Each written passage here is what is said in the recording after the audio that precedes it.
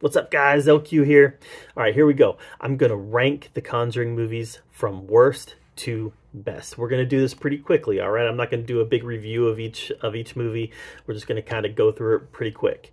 Um, so here we go.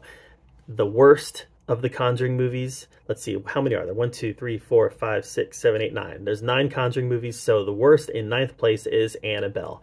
Annabelle is the only Conjuring movie that I actually did not like at all. I found it boring. I found it tedious. It was hard to get through.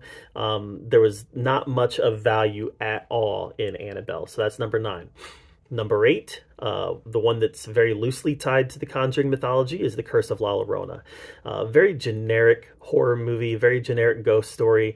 Uh, it was definitely more entertaining than Annabelle, but other than that, it didn't really have much to offer the Conjuring universe. Number seven is the first Nun. Uh, very atmospheric, very claustrophobic, um, but also somewhat forgettable. It was um, kind of a weaker story for Valak, and Valak's become such a big character in the Conjuring universe that um, I would have liked to have seen the first Valak movie to be um, to be better. All right. That was nine, eight, seven. All right, number six is Annabelle Creation. Annabelle Creation was definitely a big step up from the first one. It told a, a much better story, um, had had better scares in it. Um, it was also a little bit generic as well. It, so it it's kind of a mid tier Conjuring movie for me. Not bad, not great. All right. Number five is The Nun 2. The Nun 2 is the most recent Conjuring movie, definitely a big step up from the first one. Uh, still kind of suffered from the fact that the best Valak story has already been told. And, um, and yeah, it, it, it, was good for what it was, but it's still kind of a mid-tier Conjuring movie. All right, number four is The Conjuring 3, The Devil Made Me Do It. Um, I I liked this one more than a lot of other people, I think. I really enjoyed this how this one switched gears, kind of focused a lot on the courtroom drama side of it, um, the the the case of this person. Um, eh, you know, I researched some of it, and some of this stuff actually happened, and uh, that was pretty fascinating for me as a history as a history buff.